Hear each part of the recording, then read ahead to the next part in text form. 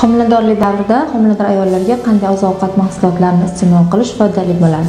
Bunday muddatlarda asosan vitaminlarga boy ovqatlarni iste'mol qilish mevalar sabzavotlarni ko'proq iste'mol qilish maqsadga muvofiq bo'ladi. Lekin bu moddalar ichida o'ziga xos masalan allergik reaksiyalarga o'ta e, sezuvchanligi yuqori bo'lgan mahsulotlar masalan rezavor mevalar qulupnay malina kabi mahsulotlarni me'yorida iste'mol qilish yoki undan tashqari sitrusli mevalar asosan ananas kivi mandarin apelsinlar bular hammasi allergiyaga moyillik chaqiruvchi moddalar bo'lganligi sababli tarkibida keyinchalik tug'ilajak farzandingizda ham shunaqa allergik holatlar yuzaga kelib qolishi mumkin.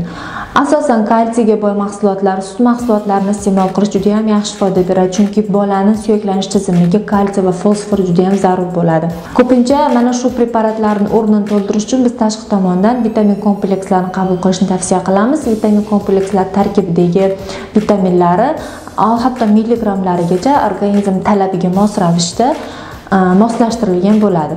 Undan tashqari ko'proq suyuqlik iste'mol qilish juda ham yaxshi э, foyda beradi chunki organizmni eng ko'p protsentini suyuqlik tashkil qiladi va barcha modda almashinuvi suyuqlik bilan bog'liq bo'ladi.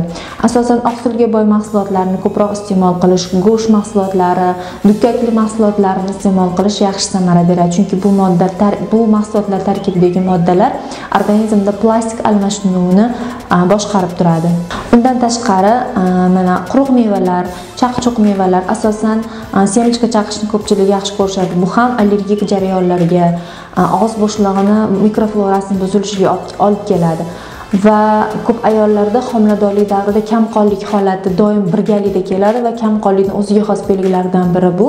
Noodatiy hidlarga va noodatiy moddalarni iste'mol qilishni xohlab qoladi ayollar.